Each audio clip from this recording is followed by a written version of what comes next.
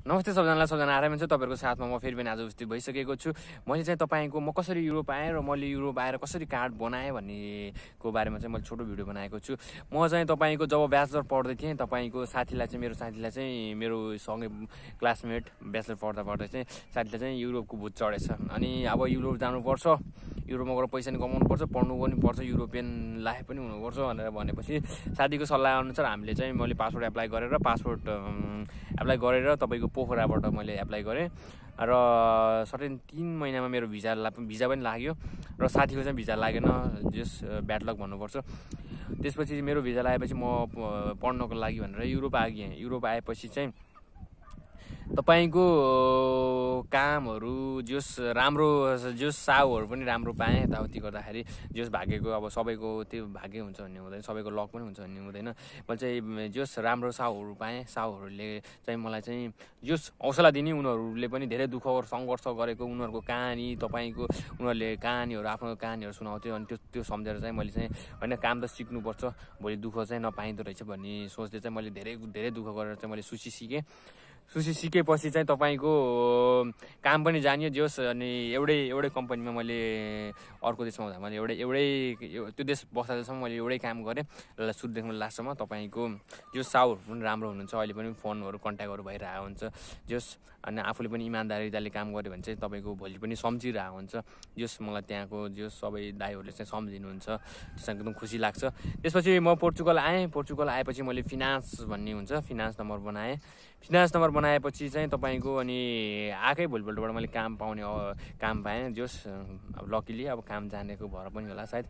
काम जाने त्यसपछि अनि काम पाएपछि मैले काम गरेँ। त्यसबाट चाहिँ मैले सोसल सेक्युरिटी नम्बर चाहिँ निकाल्नलाई धेरै प्रयास गरेँ तर यस्तो हुन्छ तपाईँको सुरुमा चाहिँ भरि थोरै पैसा न किन नहोस् तर राम्रो कम्पनीमा काम गर्नुहोस्। जहाँ धेरै पैसा दिन्छ यताउति भनेर यस्तो उसमा चाहिँ नगर्नु। अलिक राम्रो कम्पनी भएर थोरै दियोस् तर रा जोस् सबै डकुमेन्टहरू राम्रोसँग गरिदिने सबै डकुमेन्टहरू कन्ट्र्याक्टहरू दिनेहरू कम्पनीहरूमा काम गर्नुपर्दो रहेछ। मैले पछि थाहा पाएँ त्यसपछि कहिले के मिस्टेक हुने कहिले के मिस्टेक हुने जोस् अब अनि सबैलाई त अनि सधैँ त अब मिस्टेकले पनि हुँदैन नि त।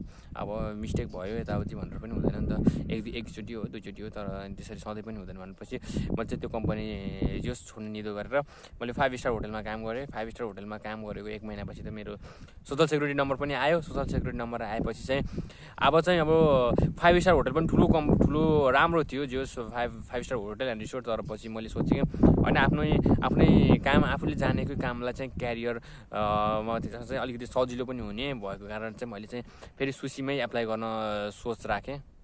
र कार्ड त थिएन तर पनि तैपनि मैले पनि अब अलिकति आँट लिएर चाहिँ अब अब काम दिन्छ कि नदिन्छ आफ्नो ठाउँमा छ तैपनि म काम गर्छु। अब राम्रै कम्पनी खोज्छु अनि राम्रो कम्पनीमा चाहिँ मैले सिबी सिबी पठाएँ। सिबी पठाएको एसेप्ट पनि भयो अनि बोलायो अनि बोलायो तर म चाहिँ होइन अब होइन एग्रिकल्चर एक्चुली एग्रिकल्चर पनि ट्राई गर्छु भनेर अनि फेरि त्यो काम छोडेर चाहिँ मैले एग्रिकल्चरतिर फेरि लागेँ। एग्रिकल्चर काम गरेको एक दिनमा त्यति बेला चाहिँ तपाईँको मैले काम गरेको दिनमा चाहिँ फोर्टी टू डिग्री थियो। फोर्टी टू डिग्रीमा बाहिर एग्रिकल्चरमा काम गर्दा चाहिँ अलिकति कामहरूले अब बाहिर काम नगरेको मान्छेलाई डाइरेक्ट बाहिर काम गर्दाखेरि चाहिँ अलिकति गाह्रै हुँदो रहेछ। पानीको अभाव धेरै कुराले चाहिँ मैले चाहिँ सोचेँ अनि होइन त्यही काम गर्दा गर्दा पछि पनि फेरि म्यानेजरको फोन आयो। त्यो कम्पनीको म्यानेजरको फोन आयो। अब तँलाई त काम गर्छस् भने हामीसँग एकोमोडेसन पनि छ र काम पनि छ राम्रो छ। आउनु ट्राई गर्न त भनेपछि चाहिँ मैले अनि त्यहाँ काम गर्ने जोस्। एग्रिकल्चरमा हामीसँग काम गर्ने दाईहरू धेरै दाईहरूको सल्लाह सुझावले चाहिँ मैले चाहिँ एग्रिकल्चरबाट छोड्ने निदो गरेँ एक दिनमै तपाईँको काम गरेको सबैको दुई घन्टा पनि भएको थिएन होला। त्यसपछि त्यहाँबाट काम छोडेर चाहिँ मैले फेरि सुसीमै काम गरेँ। राम्रो कम्पनी थियो राम्रो कम्पनीमा ट्राई गरेको। मैले त्यहाँ त्यहाँ अनि इन्टरभ्यूको लागि गएँ। इन्टरभ्यूको लागि गएपछि चाहिँ मेरो कार्ड छैन। मेरो कार्ड चाहिँ अब चाँडै नै आउँछ भनेर यस भनेको थिएँ है। अब अलिकति अलिकति धेरै थोरै अलिकति गफ पनि लाग्नुपर्छ फेरि। विचार पुऱ्याएर त्यसपछि अनि हुन्छ सोसल सेक्युरिटी नम्बर छ। मैले पहिला पनि काम गरेको फाइभ स्टार होटलमा पनि काम गरेको भनेपछि चाहिँ उनीहरूले चाहिँ र राख्छु भनेर रेडी भयो।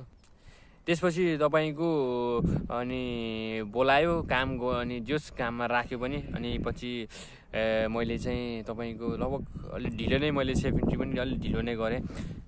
सेफ इन्ट्री गरेपछि चाहिँ ए तपाईँको पछि मैले डेट पनि पाएँ डेट पनि फेरि एक वर्षपछिको लिएँ किनकि आफूले अलिकति राम्रो सेफ रोज्नुपर्छ भनेपछि साथीहरूको सल्लाह सुझाव मसँग एकदम अलिकति साथीहरूको सल्लाह सुझाव पनि लिन्छु र अलिक अलिकति बुझ्छु पनि र डिसिजन चाहिँ आफूले लिनुपर्छ। हरेक कुरा अरूलाई दोष लगाएर पनि हुँदैन है। जे कुरा पनि गर्दाखेरि चाहिँ डिसिजन सबै सबैको कुरा सुनियो र डिसिजन चाहिँ आफूले लिने कि भोलि अरूलाई यसले गर्दा फलानाले गर्दा उसले गर्दा भन्ने कहिले पनि भन्नु हुँदैन। किनकि साथीहरूले पनि तपाईँहरूको लागि अब उनीहरूले जे भोगेको छ त्यो नै हो नि तपाईँहरूलाई भन्ने पनि। अब सबैको राम्रो हुन्छ भन्ने पनि हुँदैन। अनि मैले चाहिँ साथीहरूको सल्लाह अनुसार चाहिँ राम्रो सेफ पोर्तिमोबाट चाहिँ मैले चाहिँ फे एक वर्ष तपाईँको मैले अगाडि अगाडि नजिक नजिक राम्रो राम्रोहरू पनि सेफहरू पाएको थिएँ। मेरो लागि चाहिँ मेरो आफ्नो आफ्नो सुइटेबल हुने चाहिँ त्यति बेलाको चाहिँ तपाईँको पोर्तिमो थियो। मैले पोर्तिमोबाट चाहिँ एक वर्षपछिको डेट लिएँ। एक वर्षपछि डेट लिएपछि चाहिँ मैले जस इजिली राम्रो ट्याक्सहरू पनि राम्रो गर्थ्यो कम्पनी पनि राम्रो थियो काम कामहरू गरेँ पछि सबै कुरा भयो अनि तपाईँको अनि से सेफको लागि ए फिङ्गरको लागि डेटको लागि चाहिँ जोस् आफ्नो कार्डको लागि चाहिँ मैले गएँ र फिङ्गर गरेँ। फिङ्गर गरेको पनि तपाईँको जोस् तपाईँको दुई हप्तामा मेरो कार्ड आएको थियो। कार्ड आएपछि चाहिँ मैले पोर्चुगलमा अहिलेसम्म पनि म त्यही कम्पनीमा काम गरेको त्यही कम्पनीमा काम गरिरहेको छु तपाईँको लकडाउनमा पनि काम चलिरहेको छ जो राम्रो छ।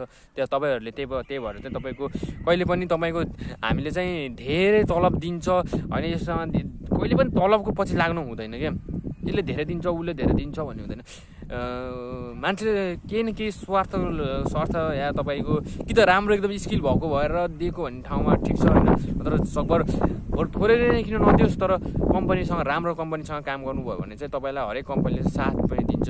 जस राम्रो हुन्छ। अलिकति विचार पुऱ्याउनुपर्छ कामहरू गर्दाखेरि। अब अब कम्पनीले अब कुनै सबै कम्पनी राम्रो हुन्छ भन्ने पनि हुँदैन। अब ट्याक्सहरू बेला बेला चेक गरिरहनुपर्छ अब कति कम्पनीहरू अब हामी चाइनिजले धेरै दिन्छ यसले धेरै दिन्छ उसले धेरै दिन्छ भन्दै हामी हामी पछि पछि दौडिन्छौँ। भरे तपाईँको ट्याक्सै नहालिदिएको भने दुनियाँ पछि निकालिदिइरहेको हुनुपर्छ त्यही भएर चाहिँ कामहरू गर्दा चाहिँ अलिकति राम्रै काम खोज्नुहोस् राम्रो तरिकाले बस्नुहोस्। त्यो गर्दाखेरि चाहिँ एकदम राम्रो हुन्छ।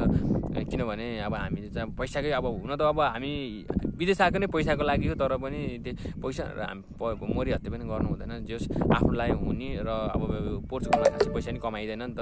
त्यही भएर आफ्नो लागि हुने जति काम गर्नुहोस्। जस राम्रो हुन्छ। पछि बिस्तारै बिस्तारै सबै कुराहरू राम्रो हुँदै जान्छ। मेरो पनि अहिलेसम्म राम्रो हुँदै गइरहेको छ।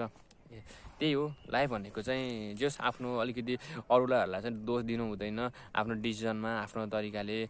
सबैको कुरा सुनियो तर डिसिजन चाहिँ आफ्नो लिने अरूले अरूको अरूले यो भन्यो अरूले त्यो भन्यो भनेर पछि लाग्नु हुँदैन।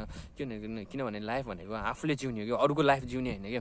हामीले अरूको अरूको लाइफ हेरेर हुँदैन कि? हामीले अरूको लाइफ हेरेर अरूको तरिकाले अरूको अरूको वेमा हो त्यसले त यस्तो यस्तो गरेछ म त्यस्तै अनुसार त्यही अनुसार जान्छु भनेर चाहिँ कहिले पनि हुँदैन कि? किनकि तपाईँको लाइफ र उसको लाइफ फरक हुनसक्छ कि? तपाईँको तपाईँको उसको फ्या उसको फ्यामिली ब्याकग्राउन्ड र तपाईँको फ्यामिली ब्याकग्राउन्ड फरक हुन्छ। धेरै कुराले प्रभाव पारेको हुन्छ।